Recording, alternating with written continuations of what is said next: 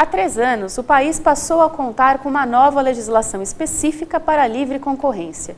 A consequência de um mercado bem regulado é ter produtos e serviços com melhor qualidade e preço, à medida que as empresas fornecedoras precisam buscar formas de se tornarem mais eficientes.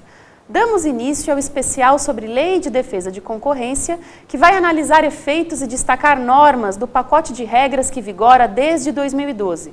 Neste primeiro vídeo, a, conversamos com o advogado Vicente Bagnoli, que preside a Comissão de Estudos da Concorrência e Regulação Econômica da OAB São Paulo. Doutor Vicente, acho que antes de falarmos sobre a lei, é importante ressaltar que essa série não é voltada apenas para os advogados da área concorrencial, não é isso? Bem observado, Érica. É, um dos objetivos da Comissão de Estudos da Concorrência e Regulação Econômica da Ordem dos Advogados do Brasil de São Paulo é difundir a cultura da concorrência, difundir o direito da concorrência. O direito da concorrência não é algo limitado, algo que fique restrito aos advogados que militam nessa área, muito pelo contrário. Todos os colegas das mais diversas áreas do direito, tendo algum conhecimento no direito concorrencial, contribuem e contribuirão para a livre concorrência no nosso país e para o bem-estar econômico da nossa sociedade.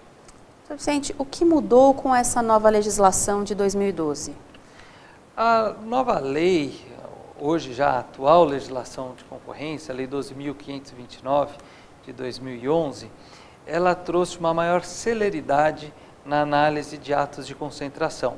Toda vez que uma empresa eh, realiza uma fusão, uma aquisição, um contrato associativo e preenchidos os critérios da lei submeta isso para o CAD, essa operação hoje é analisada dentro de um tempo médio de 30 dias, muito, muitas vezes até menos do que esses 30 dias. Então, esse é um ponto muito importante que veio com, essa, com a lei de concorrência. Outra questão também é o combate, a repressão às condutas anticoncorrenciais, que é algo tende a crescer no nosso país. É, é possível fazer um balanço dos resultados para as empresas e para a sociedade ou ainda é muito cedo? Então, já conseguimos, nesses três anos da lei, é, um ponto relevante, como eu disse, das, dos atos de concentração. Hoje você tem menos de 30 dias, muitas vezes, um ato de concentração econômica sendo apreciado e julgado pelo CAD. Para as empresas, isso traz uma segurança jurídica, uma segurança econômica, que aquele investimento que ela está fazendo terá o retorno necessário dentro de um tempo econômico.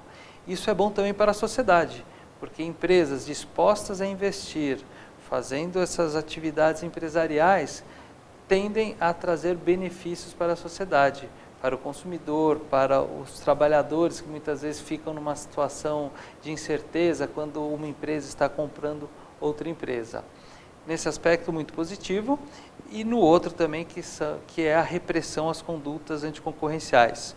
E, o nosso país, o Brasil, ele vem se aprimorando, o CAD, né, como órgão que cuida da concorrência, vem se aprimorando na repressão às condutas, notadamente nos casos de cartel, por meio do mecanismo do acordo de leniência.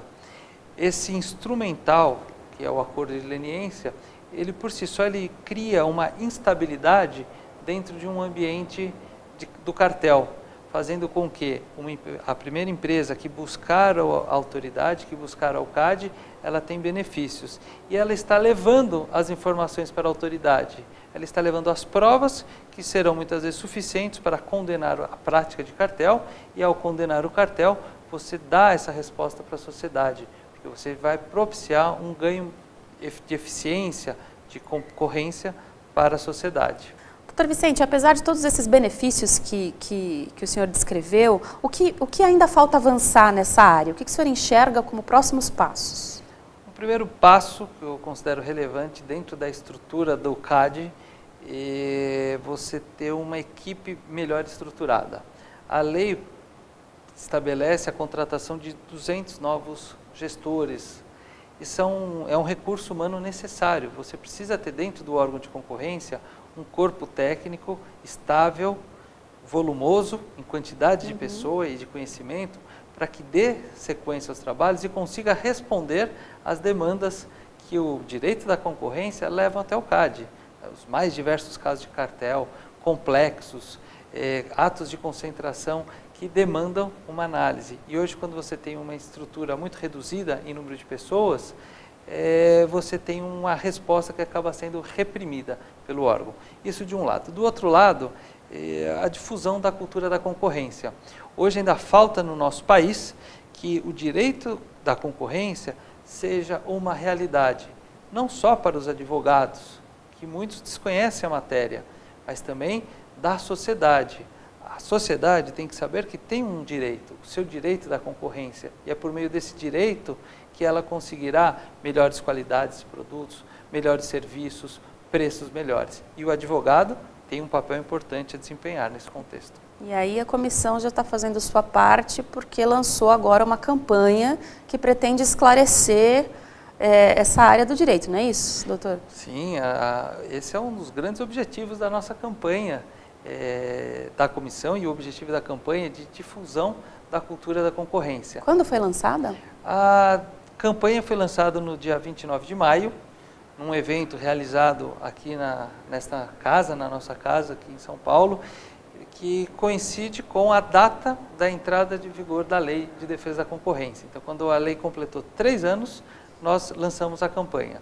E a campanha busca justamente isso: aproximar os advogados, mostrar que o direito da concorrência não é só para quem milita na área concorrencial. O direito da concorrência ele tem uma repercussão muito grande em todas as áreas do direito. E da mesma forma que outros advogados necessitam conversar com nós é, da área da concorrência, nós também precisamos conversar com eles, ter essa troca de experiência. E não só ficar limitado no ambiente jurídico, no ambiente da OAB, é levar essa questão como nós estamos fazendo em campanhas nas mais diversas áreas da sociedade, seja para o consumidor, para a sociedade civil, mas também judiciário, para as empresas, para o Ministério Público. Obrigada, doutor Vicente. Boa sorte na campanha. Os próximos quatro vídeos sobre o tema irão abordar concentrações econômicas, cartel como infração concorrencial, posição dominante de empresas no mercado e, para fechar a série, ressarcimento por danos causados por infrações concorrenciais. Até a próxima!